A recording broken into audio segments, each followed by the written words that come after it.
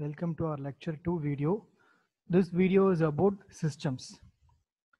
The topics covered in this video are definition of a system, components of mechatronic system, classification of systems, measurement systems, control systems. Under control systems, we will be discussing about open loop systems and closed loop systems. What is a system? A system is a component or group of components interconnected in such a way that when given an input, it produces an output. In simple words, a system can be thought of a box which will give an output when supplied with an input. We will take an example. A pneumatic cylinder can be considered as a system because we give air pressure as input and we get piston movement as the output. What are the various components of mechatronic system? It starts with sensors and actuators. Sensors gather information from the surroundings and provide input to your system. Actuators are the devices that convert any form of energy into mechanical energy.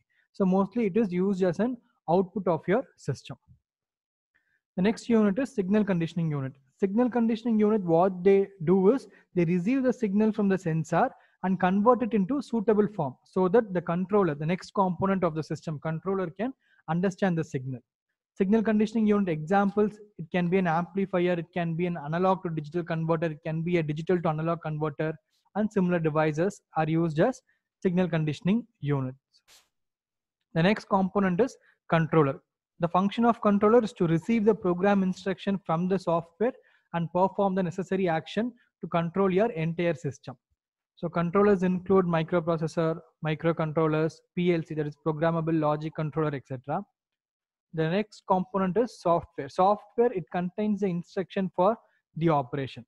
The nature of instructions in the software will be in such a way that they interact with the controllers.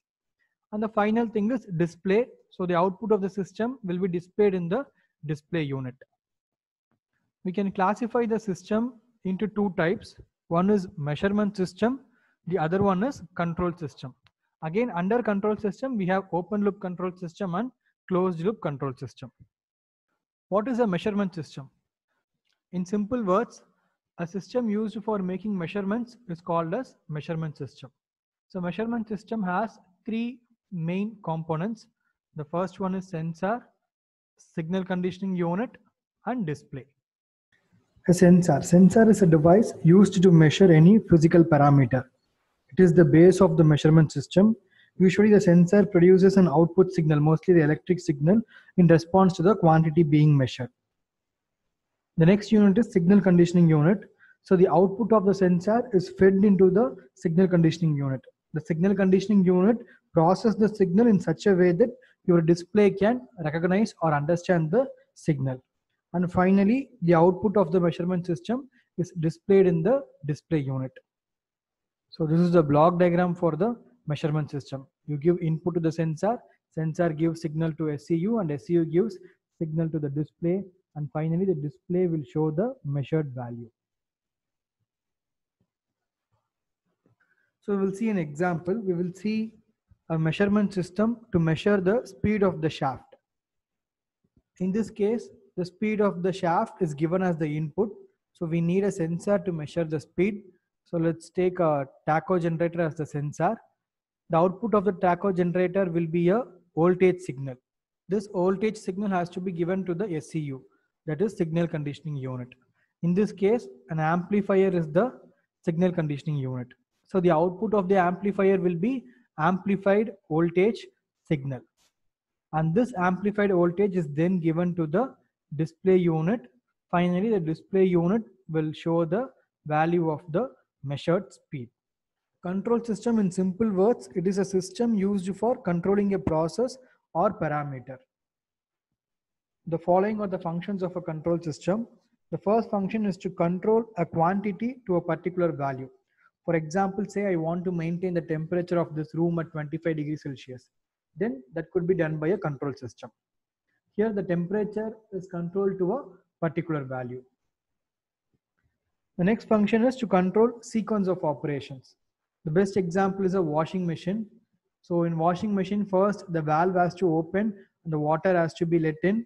and then the valve has to be closed heater has to be switched on to heat the water then the heater has to be switched off the motor should start rotating and then the motor uh, should be switched off and it goes on so like that in order to control a sequence of operation you can go for a control system and the final is to control the happening or occurrence of an event the best example is the automatic doors in the malls so which has to open only when an input is given that is only when a person is standing in front of the door the door has to open till that the event should not occur so your control system can control the happening of that event.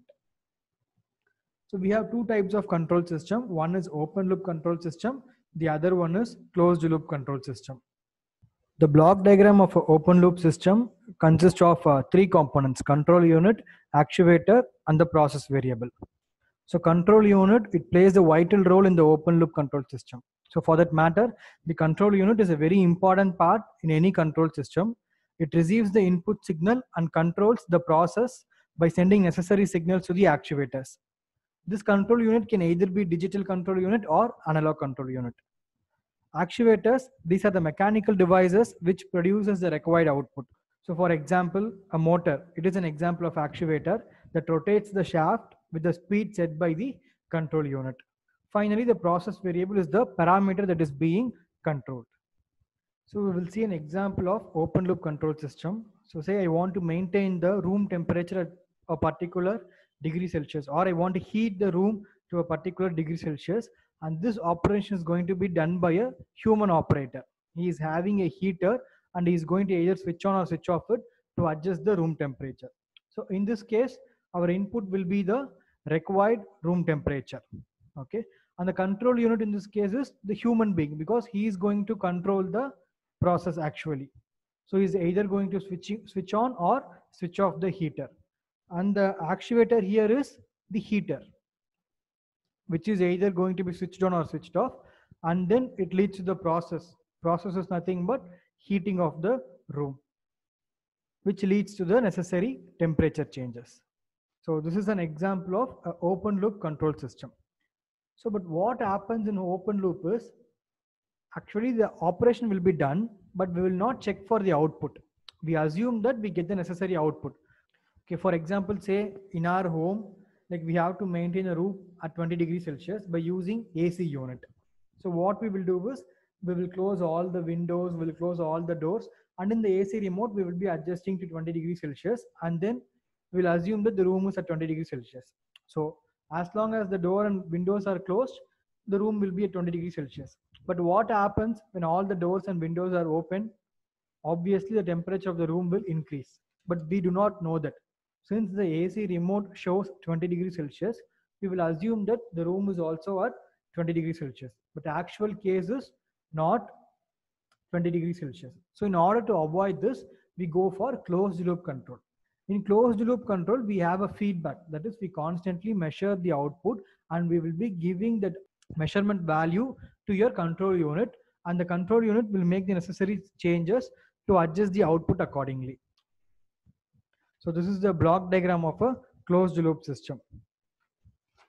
So also in closed loop system, we have a control unit, correction unit, process, measurement system, and comparator. So extra, we have a measurement system and comparator. So what is the function of this comparator is comparator will get the reference value and then it will also get the value from the measurement system it will compare these two signals and then it will produce a error signal. Error is given by the required value that is the reference value minus actual value.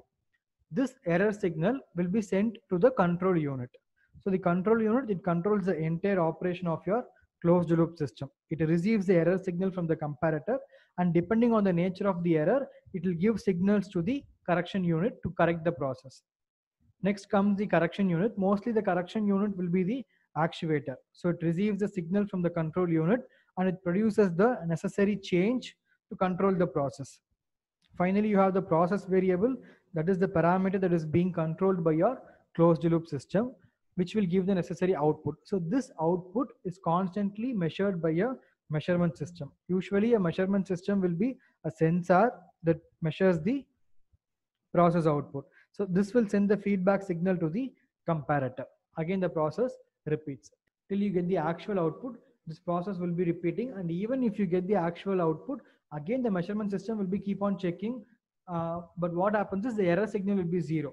So the control unit will not give any signal to your correction unit. So the correction unit will run the old state itself and it will maintain the constant output. So this is an example of closed loop system. This is a water level control system. So in this case, what happens is when we have the desired water level, the float will be in the raised position and the flap will be in the closed position. So everything will remain as it is. But once the tap is open and if the water level starts decreasing, the float will come down. So as the float comes down, the flap will be open. So water will enter into the system through the water inlet. Again, the water level will rise and float comes to the initial position and the flap will be closed. So this process repeats whenever the water level decreases. So the water level will be maintained at the desired value because of this arrangement. So in this arrangement, the process parameter will be the water level in the tank and the reference value will be the initial setting, initial position of the float and lever. That is going to be your reference value. Comparator, so here the lever is going to compare the actual value and the reference value and the error will be the difference between the initial and the actual water level. Your control unit is the pivoted lever again and your correction unit is the flap because it is going to either open or close and it is controlled by the lever but actually the flap is going to either close or open allowing or stopping the water. The process is to maintain the water level and the measuring device is again the float and lever arrangement. So we have something called as digital closed loop. If you look at the block diagram, you can see that almost all the components are same, but the only difference is we have two additional blocks that is ADC and uh, DAC. Why these two blocks are added? Because in digital closed loop system, the control unit will be digital, but the correction unit is nothing but your actuator, which is analog. So in order to convert the digital signal from the control unit to the correction unit, we need a digital to analog converter. So we insert a DAC between control unit and correction unit. Similarly, the output of the comparator will be analog signal, whereas your control unit is a digital one. So we need an analog to digital converter in between comparator and control unit. So this is the only difference between an analog closed loop system and the digital closed loop system. So we'll list some of the differences between an open loop system and closed loop system. In terms of feedback, open loop does not have any feedback, whereas your closed loop has feedback. In terms of construction, uh, since closed loop has more components, it, it is a little bit complex when compared to that of a open loop system. Cost wise, your open loop will be cheaper because your closed loop, it has to include measurement devices, it has to include comparator, etc. So closed loop is a bit costlier and compared to that of open loop. In terms of accuracy, closed loop will be more accurate because we, we constantly check the output with the help of a feedback mechanism. So we can maintain accurate output, which is not in the case of an open loop control system.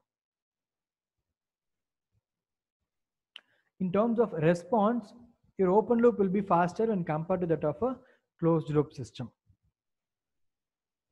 Reliability, so in terms of output, you can say closed loop is uh, more reliable, but in terms of entire system, since your closed loop has more components, there is more chance of breakdown when compared to that of open loop. So if you consider the overall system, open loop is more reliable than the closed loop control system. Stability. Stability means uh, the output has to be maintained at the same value. The output can be either correct or wrong. That doesn't matter, but it has to be in the same value. That is what is stability. In open loop, whether it's correct or wrong, uh, within few minutes of giving the input, you'll be getting a steady output. Whereas in closed loop, it will not be the case because it will be constantly checking the output and the output keeps on varying before it reaches to some steady state. We will explain this with the help of a diagram. So let's consider open loop system. In open loop, what happens is when the input is given, within few minutes, it will start giving the output. Say whether it's correct or not, we do not know, but it will give a steady output after a few seconds from the input. Okay. But in case of closed loop, what happens is say this is the correct value. Initially, when I give the input, it will check. It is not equal to the correct value. So it will increase. Again it will check. The measurement system will check.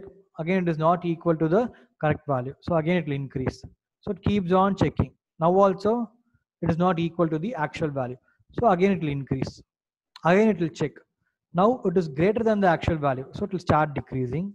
It will check again it will start decreasing so this process keeps on repeating so the output will be stable only after a period of time so in case of stability your open loop is more stable when compared to that of closed loop so next is examples of uh, open loop and closed loop system. For open loop, it's microwave oven is the best example and closed loop refrigerator is the best example for closed loop system. Thanks for watching the video. So I will meet you all in the next lecture. Thank you.